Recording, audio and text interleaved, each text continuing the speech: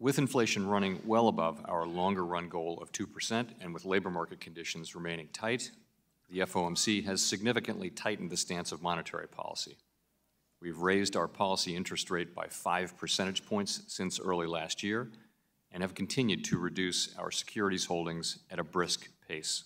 Nearly all FOMC participants expect that it will be appropriate to raise interest rates somewhat further by the end of the year.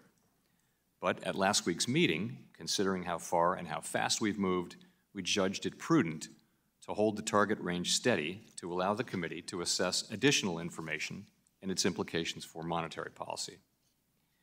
In determining the extent of additional policy firming that may be appropriate to return inflation to 2% over time, we will take into account the cumulative tightening of monetary policy, the lags with which monetary policy affects economic activity, inflation, and inflation, economic, and financial developments. The U.S. banking system is sound and resilient, as detailed in the box on financial stability in the Monetary Policy Report. The Fed, together with the Treasury and the FDIC, took decisive action in March to protect the U.S. economy and to strengthen public confidence in our banking system. The recent bank failures, including that of Silicon Valley Bank, and the resulting bank stress have highlighted the importance of ensuring that we have the appropriate rules and supervisory practices for banks of this size. We are committed to addressing these vulnerabilities to make for a stronger and more resilient banking system.